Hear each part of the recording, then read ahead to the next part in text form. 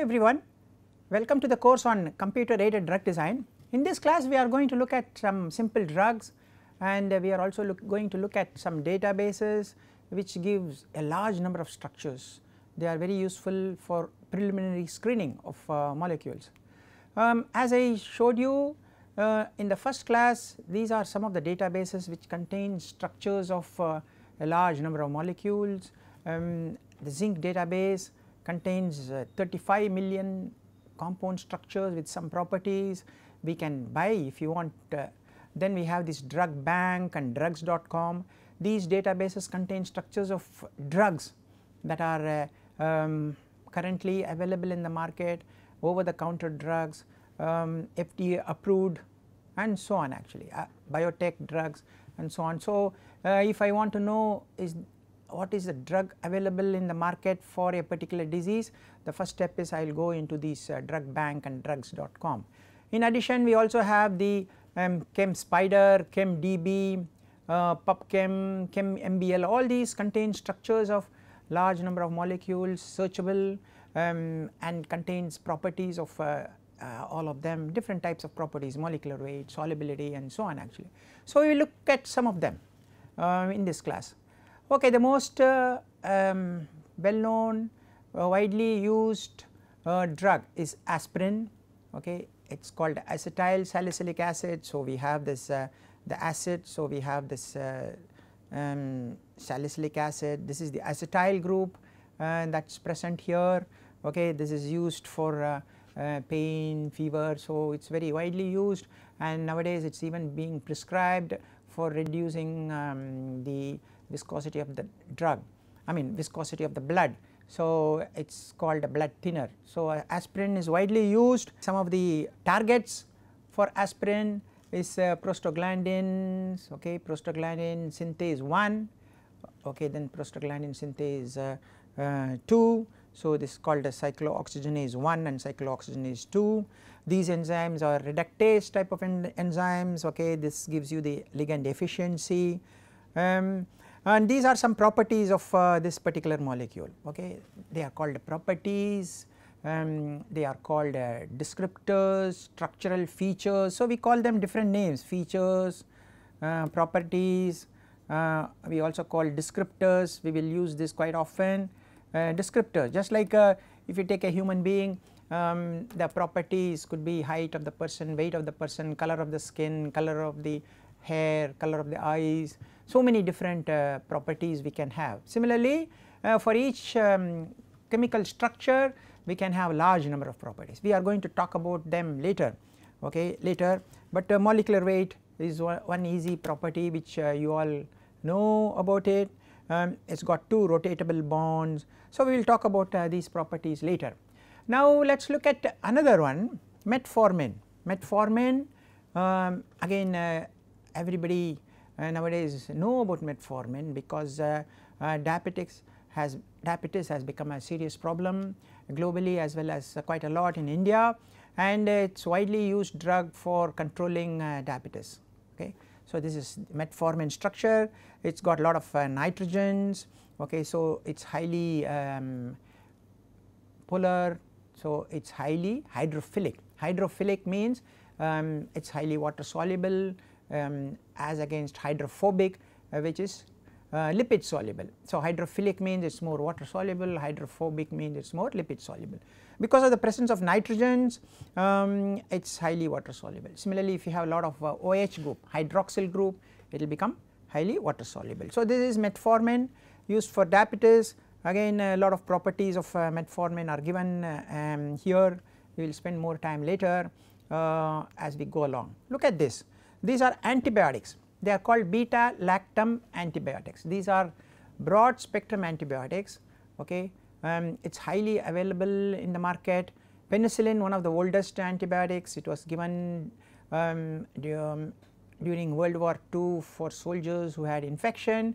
Uh, many soldiers before the advent of penicillin used to die because of infection and the penicillin was the biggest boom okay? They are called beta lactam antibiotics. There are many uh, beta lactam antibiotics.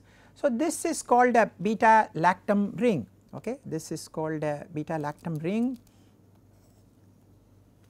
The 4 member cyclic uh, with a nitrogen and a ketonic group. And uh, many antibiotics which come under this class of beta lactam antibiotics will have this particular ring.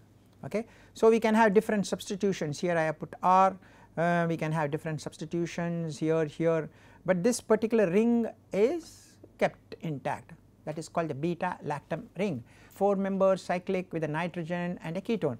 So this is cephalosporins again uh, you see this uh, ring the beta lactam ring and then here the different types of R groups are put in. So we get large number of cephalosporins okay. So they are antibiotics broad spectrum antibiotics um, and there are many many types of beta lactam antibiotics available currently in the market okay. So that is the beta lactam ring. Um, okay, so look at this um, antibiotics amoxicillin. So it has got this beta lactam ring okay. Penicillin 5 it is a oral this one penicillin G. So this beta lactam ring is intact. So there are a lot of modifications to the side chains um, to improve its solubility or maybe improve its uh, stability uh, to balance the hydrophilic and hydrophobic nature of the drug. So many reasons uh, they add these uh, extra uh, substitutions to improve the drug likeness property or maybe to improve okay. So this is the general penicillin as you can see here the beta lactam ring is there but uh, there are so many different types of penicillin, penicillin G, penicillin uh, okay V, amoxicillin but all of them have this. Okay, so how do they act? They prevent cross linking between proteins and hence cell wall synthesis. So uh, the uh, bacteria cell does not grow uh, because they prevent the cross linking of various proteins that are involved in the cell wall development. So look at this combination of amoxicillin and clavulanic acid okay they again they are used for treatment of bacterial infection. Okay what happens is these bacteria became very smart and uh, they started producing something called beta lactamase enzyme okay that is called beta lactamase enzyme enzyme. So that enzyme produced by the bacteria started breaking uh, this beta lactam thereby the antibiotic becomes uh, uh, ineffective or it loses its activity. Uh, the bacteria started uh, developing this particular enzyme and this enzyme will break uh, this structure so the antibiotic loses its activity. So what happened was they started introducing combination one is called clavulanic acid amoxicillin. So this clavulanic acid will go and bind to this enzyme beta lactamase um, thereby that enzyme is not able to do any job whereas this antibiotic uh, will start uh, working and thereby it will kill the bacteria. So uh, these are this is called a combination therapy okay this is called a combination therapy where we, we give two drugs um, one drug acts uh, on one target and the other drug um, acts on the other target okay. So that is called a combination therapy. Because uh, the the beta lactamase enzyme started degrading the beta lactam ring uh, they started giving two drugs in combination. So this particular clavulanic acid will go and bind uh, to the beta lactam enzyme that is a beta lactamase inhibitor whereas the amoxicillin will start uh, working on the cell wall thereby the bacteria uh, will get killed okay. So nowadays uh, these bacteria uh, become resistant they are called resistant bacteria because they start doing different tricks. Uh, one approach is to produce these type of enzymes which will go and kill the uh, or destroy or in uh, or degrade the drug that is one approach. Other approach is to uh, produce something called efflux pumps that means whatever drug comes inside the microorganism or cell is thrown out that is effluxed out okay. So that is called efflux uh, uh, pumps. So the bacteria started developing these type of uh, uh new tricks uh, thereby they become resistant and nowadays you must have been talking uh, hearing about resistance bacteria, resistance tuberculosis bacteria and so on. So these are the tricks they follow and so drugs are go, given in combination to overcome some of these problems. Um, aspirin okay we all know aspirin uh, there are uh, different types of aspirins as you can see um, phenacetin then Tylenol. So, all of them have uh, different type of structural features as you can see here ibuprofen it is also called Advil. These modifications are done in the structures as I said to improve the drug likeness property or to improve ADME or to make the molecule more stable or reduce toxicity and so on actually. We will look at uh, some of them as we go along. Um, antihistamines again uh, all of us must have taken antihistamines uh, these uh, are taken when to overcome swelling or redness, inflammation, sneezing, runny nose, watery eyes. So, uh, the how do they act? They block histamine release from histamine 1 receptor okay. So, um, they block histamine when it gets released you end up having swelling, itching, inflammation, runny nose, runny uh, watery eyes and so on actually. So, they are called antihistamines okay they block the histamine release. This is what is called a histamine this is the structure of the molecule uh, that is called histamine.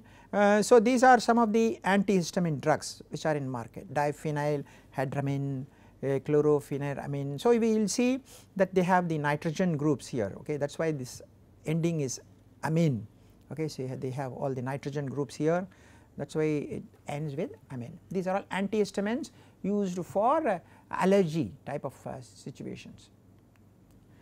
Um, more of antibacterial uh, these sulfa drugs were discovered very very early um, they have this uh, sulfur groups that is why they are called uh, sulfa drugs. So, as you can see here sulfanilamide.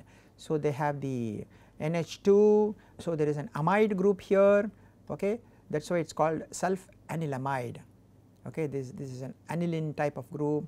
Uh, so, different types of uh, sulfaguanidine, sulfa thiazole this is called a thiazole structure a 5 membered ring with nitrogen and sulfur um, is called a thiazole structure uh, because uh, thia means sulfur, ZOLE is nitrogen um, when you have thiazole it means it is a 5 membered uh, nitrogen and sulfur is present. So, you see different types of um, modifications to sulfa. Um, these drugs uh, nowadays are not uh, uh used much because uh, uh, the bacteria have become more resistant to these drugs okay and um, the whole world has shifted towards different types of antibiotics like I showed you penicillin again penicillin also has become um, very meek bacteria become resistant to that. So, the um, medical fraternity has moved into much more powerful antibiotics. So, there is always a war between the microorganism and um, scientist as the scientists discover new drugs the microorganisms somehow get resistance um, and either through modific gene modifications or through design of efflux pumps or uh, um, design of new enzymes to degrade the drug. Um, so, again scientists start discovering new molecules and so on actually. So, these are sulfa drugs which are generally not used nowadays maybe for some of the skin infections it is still being used in ointments. Um, then other antibacterial drugs you can see tetracycline uh, you must have heard all these names uh, aureomycin okay again terramycin fluoroquinolone. So, these drugs they bind to the bacterial ribosomes whereas uh, fluoroquinolones bind to the DNA replication. So, the DNA does not get replicated okay. So, you can see different uh, type of uh, mode of action of antibiotics antibacterial drug. If you look at penicillin they prevent cell wall synthesis. If you look at uh, these type of uh, drugs tetracyclines they bind to bacterial ribosomes. If you look at fluoroquinolones they prevent the DNA replication. Okay, so, um, pharma companies look at different uh, uh, uh, possible targets and start designing molecules um, towards those targets. Ibuprofen okay this uh, everybody would have taken because of inflammation and so on the joints in the knee and so on. So, these are called non-steroidal anti-inflammatory drug okay NSAID. Once upon a time steroids were given if there was swelling in knees or joints um, but steroids as you know has a lot of side effects. So, drugs were discovered small molecule drugs were discovered um, to overcome this inflammation as anti-inflammatory molecule. So, they are called non-steroidal anti-inflammatory drug NSAID. So, how does it do? It reduces the hormones that cause inflammation and pain in the body, they go and bind to um, some enzymes which produce prostaglandins okay that is how they act. Okay. So, uh, large number of uh, drugs which we use very commonly I have shown which is very very important for us to know the structural features, we need to know the structural descriptors which are uh, normally um, describe the molecular properties. So, that is called chemi informatics um, which chemi informatics which uh, tries to find out the structural features um, or structural descriptors of uh, molecular structure. So, let us look at some databases like I said before um, and see how we can make use of them. Okay. Okay, let us uh, first look at this database called Zinc 15 database. Uh, this database uh, contains structures of uh, uh, a large number of molecules as you can see 100 million. It keeps going up every day. Uh, purchasable. That means uh, if you think uh, you have found a good possible lead compounds based on in silico you can even buy it. Okay? That is the beauty of it.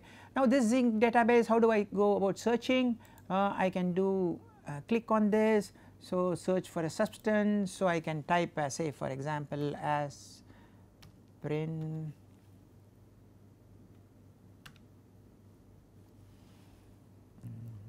yeah. So, we find a structure I click on it. Uh, so, it gives a lot of information this is the structure as I said uh, aspirin is nothing but uh, acetyl this is the acetyl group uh, this is the salicylic acid. So, it has got a benzene and an acid here um, it is available in stock and so on okay. The net charge on the molecule is minus 1 uh, why does it get to minus 1 uh, because the OH can easily dissociate. So, you can get a O minus 1 it does not have any hydrogen bond um, donors okay because uh, it gets uh, the O and H uh, gets uh, um, okay dissociated as O minus. So, hydrogen bond acceptors that means uh, oxygen and nitrogen are called hydrogen bond acceptors. So, 1, 2, 3, 4. So, it has got 4 hydrogen bond acceptors. TPSA means total polar surface area, uh, the PSA means polar surface area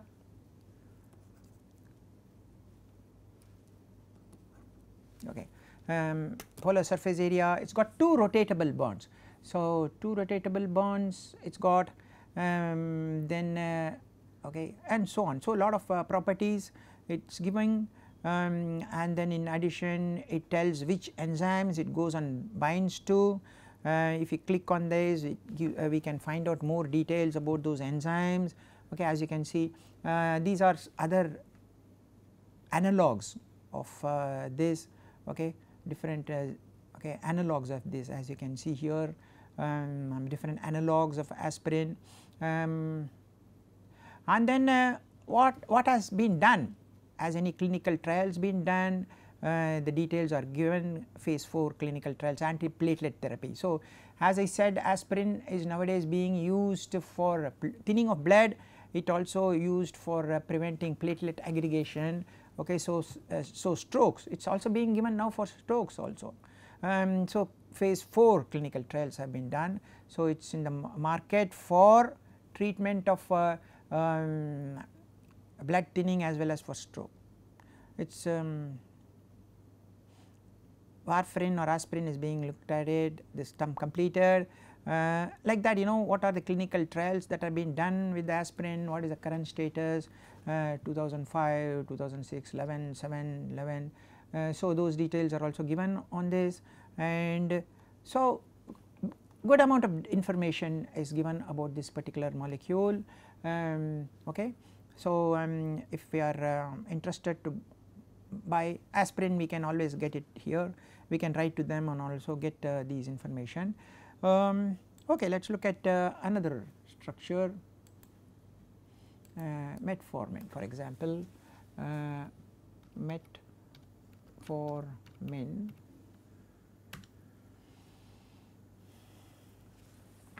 Yeah, you have metformin here. Um, so, if you click on that okay. So, uh, this is metformin um, again lot of uh, properties of metformin uh, net charge is uh, 2 because uh, see you can see plus charges are there. Uh, so, it's 2 hydrogen bond donors it has got 1, 2, 3, 4.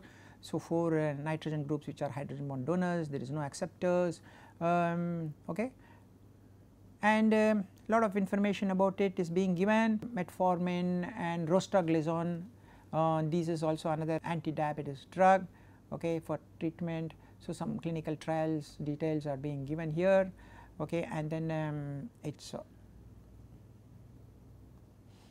some of the properties of this molecule and then what type of studies are being done in clinical trials. So, all these are given. So, if I I can click get more information on this okay? Yeah so I can get more in. So, um, this is a very useful database. Um, okay in addition we can do a lot of things here. Uh, we can draw structures here. For example uh, imagine I am drawing a structure um, um, here. Okay I can um, draw a chemical structure and then um, okay okay so I I am interested to uh, look at molecules in the database which has got this substructure. So, I can say um, substructure search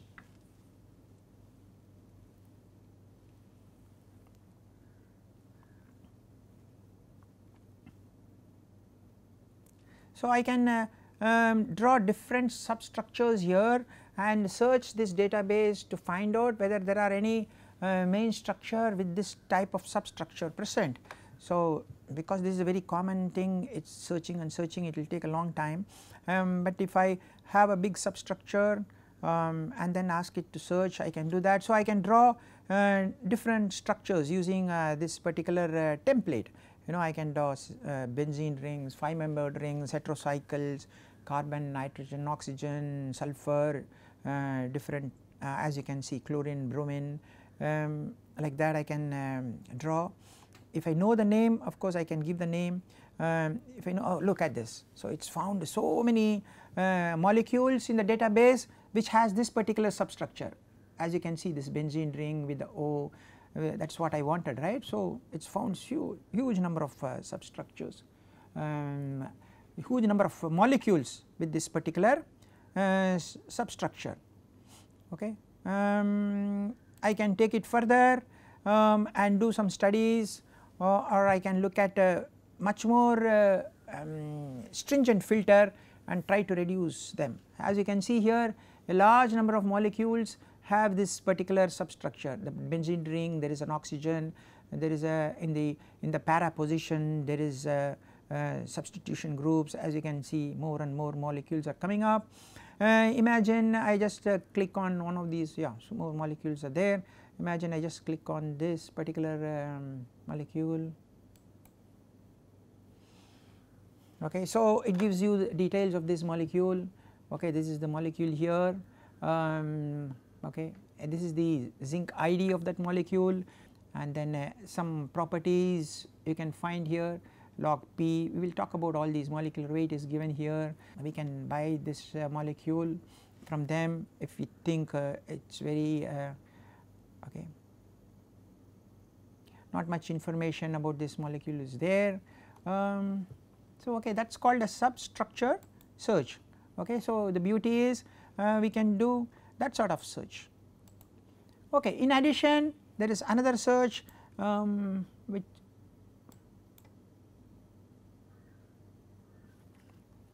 or if you know the zinc ID that means this is called a zinc database.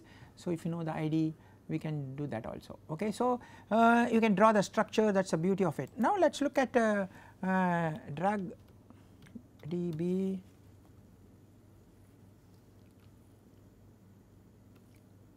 okay. So, there is uh, this drug bank which contains large number of uh, uh, drugs that are currently in the market.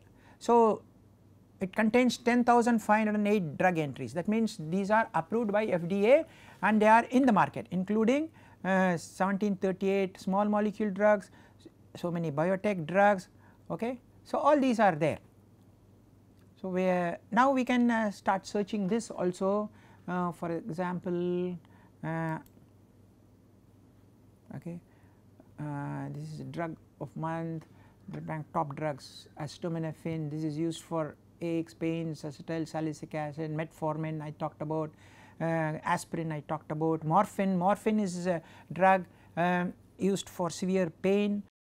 It prevents uh, it reduces the pain which you have okay? So uh, this is a very useful database um, we can use for uh, our study. And you want to identify some new drugs okay? So we can say again metformin okay so we can search for metformin. Uh, metformin is a biguanide uh, so okay it gives you all the details about uh, this particular drug. Okay so look at drugs. Currently uh, looking for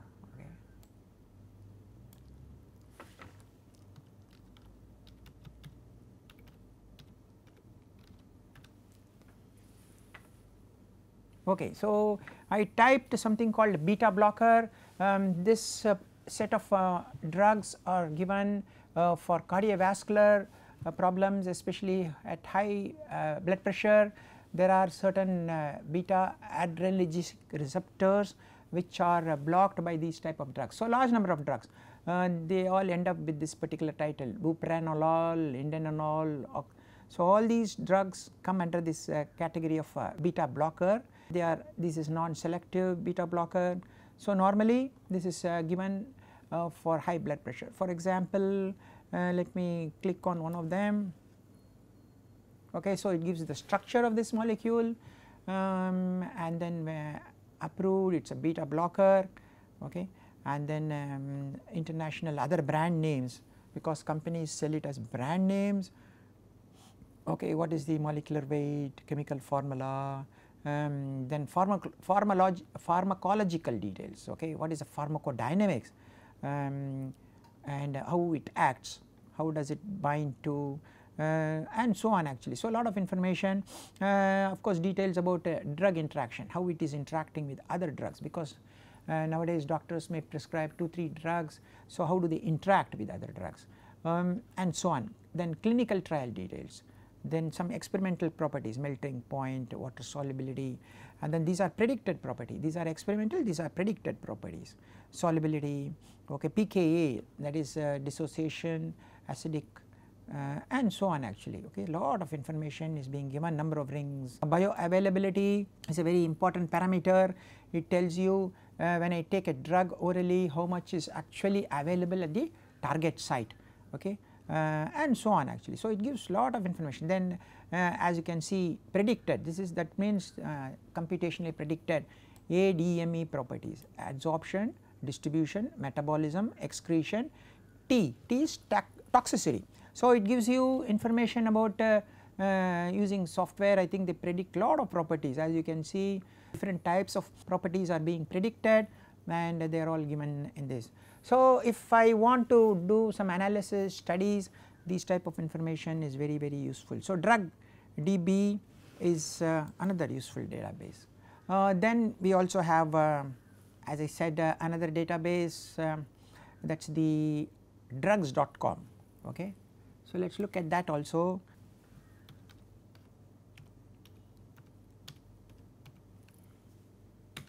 Okay, it gives you a lot of information about uh, different types of drugs that are currently in FDA approved. Okay, so we can do a drug index based on condition, class, uh, generic drugs, over the counter drugs, international drugs, natural products, veterinary products, drug side effects. Okay.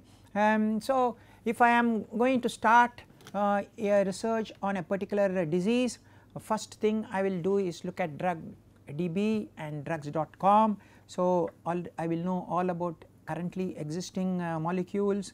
Um, so, I can know their properties, I can know their uh, mode of action, I will know uh, how they act, what are the side effects. So, that is a very good step to start from. Okay. So, you need to uh, start from that particular step.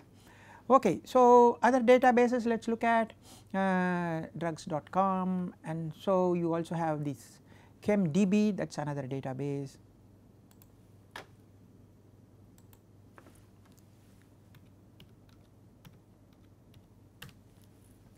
Okay, so uh, ChemDB is a chemical databases online. Okay, so you can see this is a chemistry databases reference. Uh, we can search by structure so, I give the structure and then uh,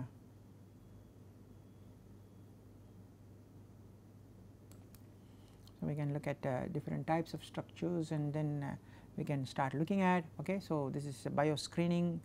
So, it gives um, we can start looking at structure search then uh, we also have uh, the uh, PubChem database which gives you information on various types of um, this is called a PubChem database. Again this has got a large number of uh, structure searchable options. Um, we can give uh,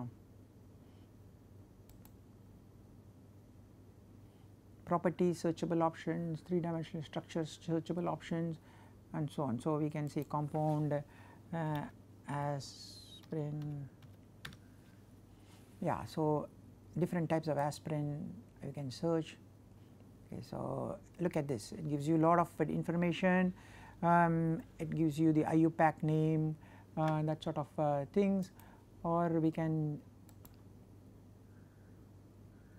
if I want to know some bioassays how do I uh,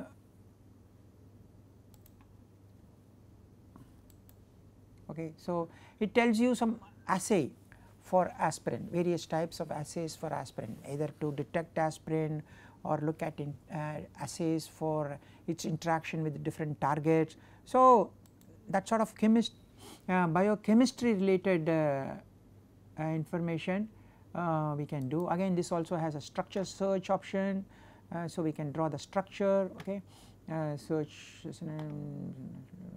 substructure structure. Okay. So we can draw structures here as you can see here. Okay. A lot of things can be done. Yeah so I can do a lot of things with this. Uh, okay so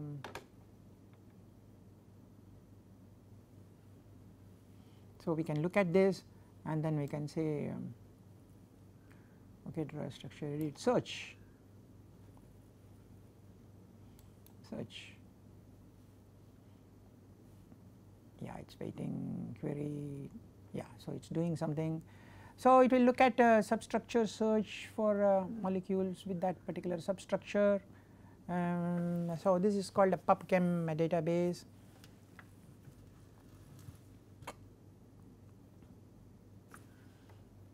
Okay, so um, you, you people can uh, start uh, playing with all these uh, types of uh, different databases available um, in, uh, in the web okay all these are very useful databases because it gives you structures um, and a uh, lot of properties which you can make use of for doing different types of uh, calculation. So, I uh, because we will not have enough time to go through each one of the database in detail, uh, I would suggest that you people go through all these databases. We can look at it based on the name of the molecule uh, or the drug uh, we can draw structures and also uh, we can do a substructure search and uh, um, we can do based on properties, we can uh, do search based on uh, disease conditions. Okay. So, a lot of studies, um, data collection and data analysis can be done with these type of uh, databases and we will be using some of these databases as we go along. Okay. Thank you very much for your time.